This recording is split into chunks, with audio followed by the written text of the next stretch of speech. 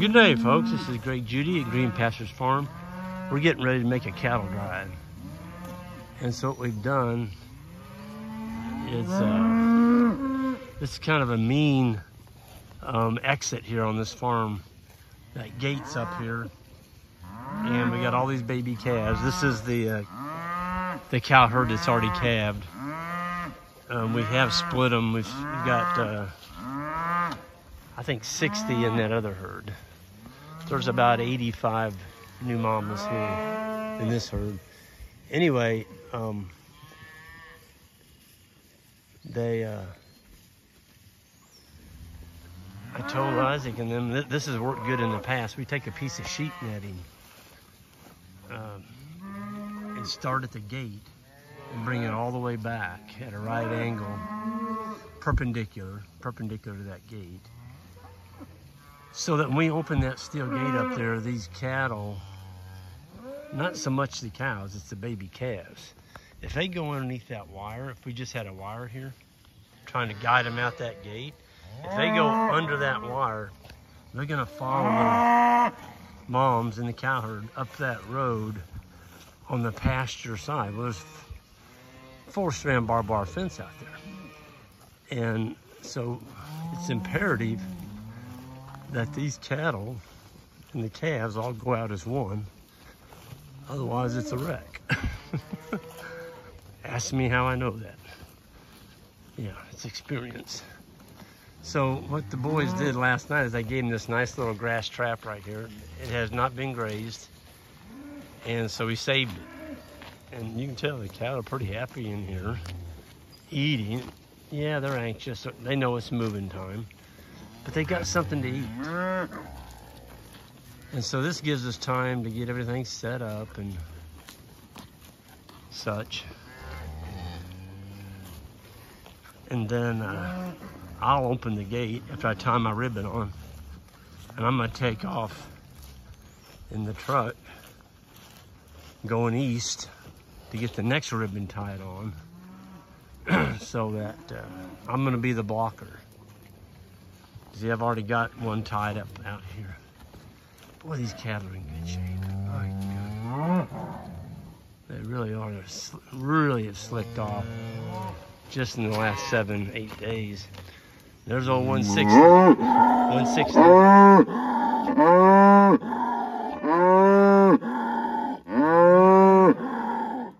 She's our lead cow. She's here by the gate.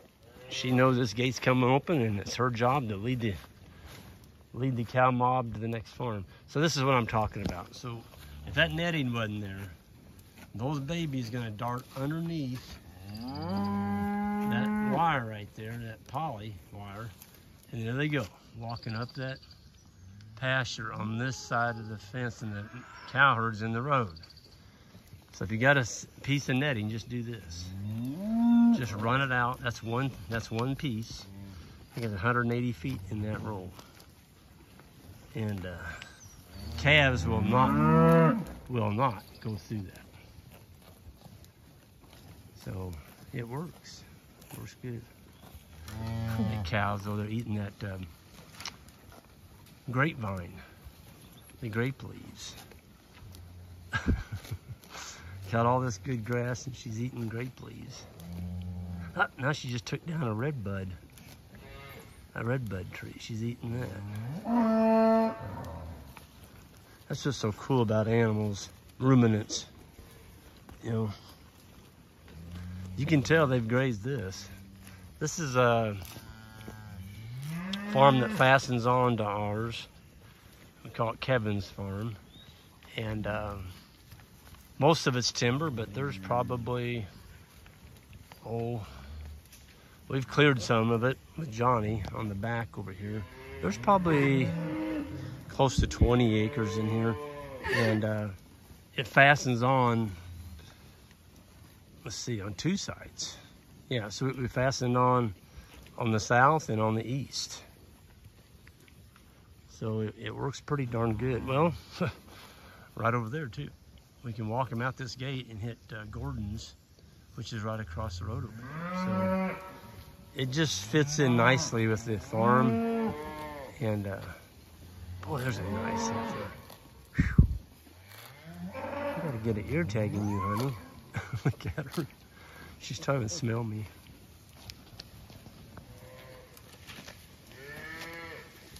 Yeah, she's a beaut.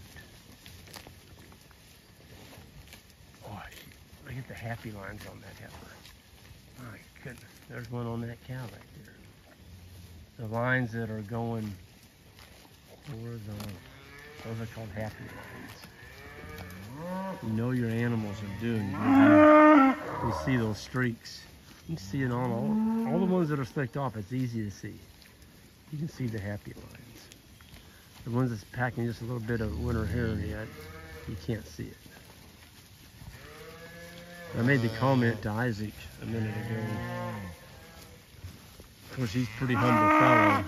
I told him, I said, I don't know if we've ever had a better looking calf crop. And Isaac being humble as he is, and I, you know, I was giving Isaac credit. I said, they, they're doing well. And he goes, well, Greg, he said, we've got pretty good grass. so, you know, you can have pretty good grass, but if you don't have good management, I don't care how good a grass you got, your animals still aren't going to perform as well as they would if you've got a good operator that's watching, like Isaac and Ike and Jackson are.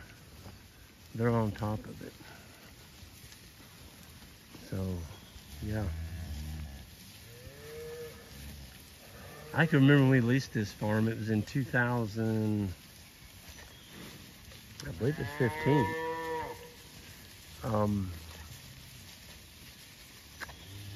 well, it would have been when Kevin was here.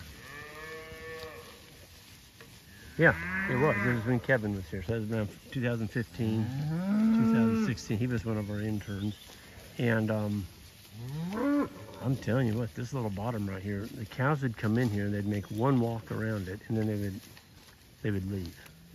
There, there wasn't anything here for them to eat. It was just uh, broom sedge, um, just rank. There wasn't even any fescue in here to speak of. And uh, we've unrolled hay. And uh, years ago when I first got it, um, we, we put some lime on it. And uh, it's helped it. It's helped it a lot. Yeah. So anyway, uh, I'm gonna go ahead and get out of here and uh, we're gonna get this thing going here in a minute. The boys are rounding up the loose ends back here and we're gonna be on the road here in just a few minutes and make another cattle drive. Uh, folks, you all new to the channel, if you would hit that subscribe button, that'd be awesome. And uh, we'll be seeing you all next time.